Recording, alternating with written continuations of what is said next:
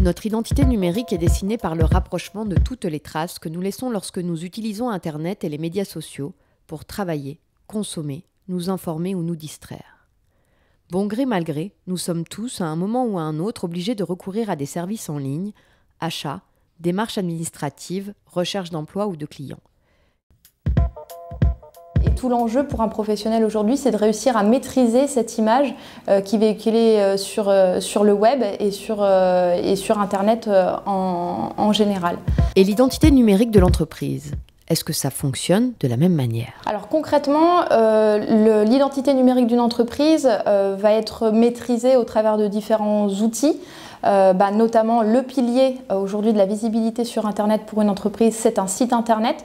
Euh, puis au travers, outre en fait ce, site Internet-là, vous avez ensuite différents outils qui permettent d'être visible sur le web. Donc on va parler notamment cette grande question des réseaux sociaux. et puis on a aussi différents outils de Google, des outils gratuits qui sont faciles d'accès, qui sont, comme je viens de le dire, gratuits, je le répète, et qui sont euh, qui prennent vraiment peu de temps à maîtriser et qui pourtant euh, sont vraiment euh, des prérequis pour assurer une visibilité de qualité sur le web à tous les professionnels de la région. Alors avant tout, on fait souvent la, comparaison quand on parle d'identité numérique avec l'identité de l'entreprise en dehors du monde numérique.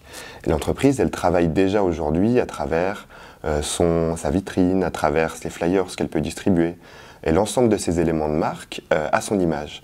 Et l'image numérique, c'est rien de plus qu'un outil pour transposer cette image-là vers une clientèle qui est beaucoup plus vaste, qui est celle qu'on retrouve euh, sur les réseaux sociaux notamment.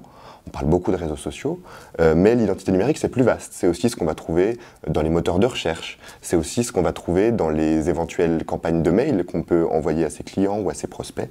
C'est l'ensemble de ces choses-là qui retranscrivent ce qu'est l'entreprise, l'image de l'entreprise sur les réseaux, sur Internet.